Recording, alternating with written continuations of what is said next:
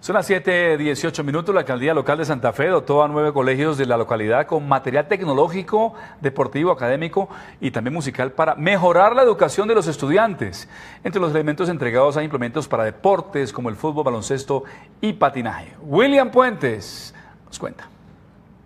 La iniciativa liderada por el alcalde local, Gustavo Niño, estuvo centrada en nueve colegios ubicados en los barrios La Perseverancia, Las Cruces y San Bernardo, donde se les entregó computadores, televisores, implementos de laboratorio e instrumentos musicales. Bueno, la alcaldía está entregándole material didáctico, tecnológico y en algunos colegios estamos entregando eh, material de instrumentos musicales. Esto con el objetivo de mejorar el aprendizaje y sobre todo de hacerlo mucho más fácil y divertido. Nuestros nueve colegios tienen que avanzar en esta tarea de mejorar la educación.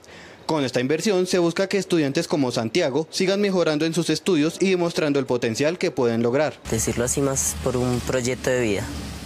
Sí, porque, o sea, más que todo para, o sea, ser alguien grande en la vida, se necesita estudiar. Y pues si no se saben varias cosas, no se puede llegar adelante. Para los padres de familia, esta obra es importante. Me parece buenísimo porque el colegio realmente sí lo necesita. Estos elementos entregados por el distrito buscan impulsar el desarrollo en múltiples campos de los estudiantes como el deporte y las artes.